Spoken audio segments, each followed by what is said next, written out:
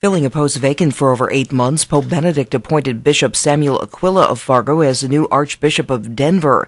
The announcement was made by the Pope's U.S. representative today. Aquila will succeed Archbishop Charles Chaput, who was installed as head of the Philadelphia Archdiocese last year.